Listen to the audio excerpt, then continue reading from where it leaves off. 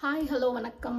So today வந்து we make chana masala but chana வந்து ஏற்கனவே வேக வச்சு வச்சுருக்கேன்.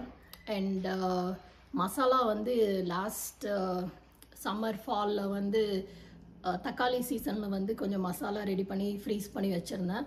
ஸோ அதையும் இதையும் யூஸ் பண்ணி uh, எல்லாமே ப்ரீமேட் ப்ரீ குக் ஸோ எல்லாத்தையும் போட்டு குவிக்காக வந்து ஒரு சன்னா மசாலா எப்படி பண்ணுறதுன்னு பார்க்கலாம். வாங்க.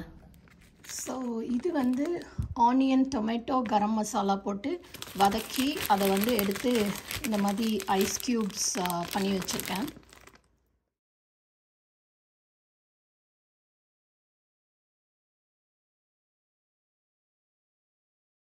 இந்த பேக்கெட் வந்து onion tomato salt garam masala மிளகாய்த்தூள் like for biryani or curry except no ginger garlic paste so அது பண்ணி அதையும் வந்து இந்த மாதிரி பிக் பிக் uh, ஒரு லம்ப்ஸ் ஐஸ் க்யூப்ஸ் பண்ணி வச்சுருக்கேன். ஸோ இது ரெண்டையும் யூஸ் பண்ணி எப்படி சன்னா மசாலா பண்ணுறதுன்னு பார்க்கலாம். ஸோ ஃபஸ்ட்டு வந்து ஆயில் சூடான உடனே ஆனியன் போட்டு வதக்கிடணும். கொஞ்சம் ஆனியன்ஸ் லைட்டாக அப்படியே கொஞ்சம் ரோஸ்ட் ஆன உடனே நம்ம வந்து அந்த ப்ரீமேட் மசாலா போட்டு அப்படியே வதக்கி விட போகிறோம் ஒரு ஃபைவ் மினிட்ஸில் will see water so this is frozen மிளகாய். லாஸ்ட்டு சம்மரில் வந்து இதை எடுத்து வாஷ் பண்ணி க்ளீன் பண்ணி ஃப்ரீஸ் பண்ணி வச்சுருக்கேன்.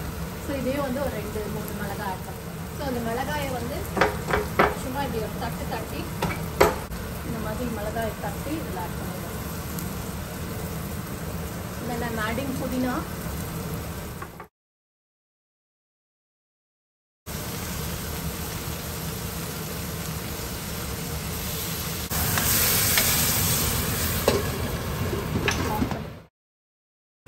இதில் வந்து ஐஸ் க்யூப்ஸில் வந்து இதை was no ginger garlic paste அதனால வந்து இப்போ நம்ம இதில் வந்து ginger and garlic paste add பண்ணுறோம்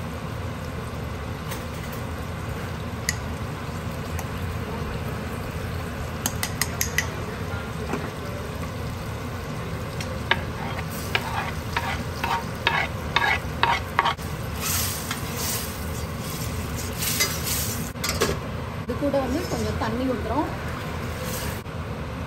and then cooked chana.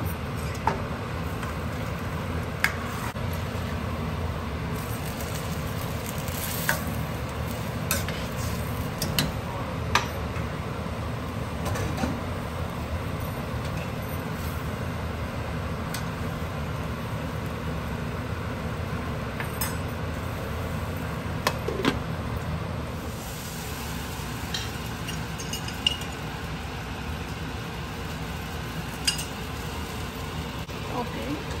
So, dosai with uh, channa koyambu ready.